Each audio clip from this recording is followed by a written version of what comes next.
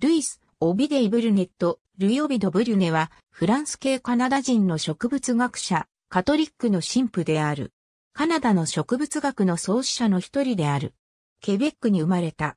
父親は商人であった。ケベック神学校で学び、1848年10月に除会された。その後、10年間、宣教師、叙任司祭、教区司祭として働いた。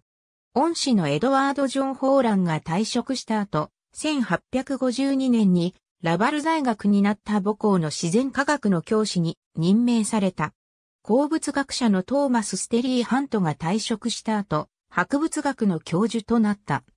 専門の植物学は、オンタリオ州やケベック州の野外調査や2年間にわたってヨーロッパに滞在し、ソルボンヌ大学やパリ植物園、パリ自然史博物館で講義を受けることによって学んだ。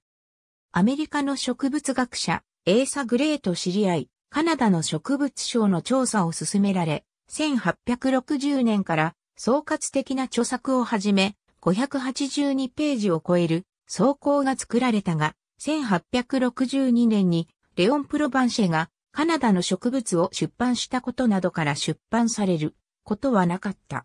1870年に植物学と植物生理学の基礎を出版した。この出版からほどなくして健康を害し、44歳で引退した。ブルネが没した時1万を超える標本が整理分類されて残された。ブルネットは植物の学名で命名者を示す場合にルヨビド、ブリュネを示すのに使われる。ありがとうございます。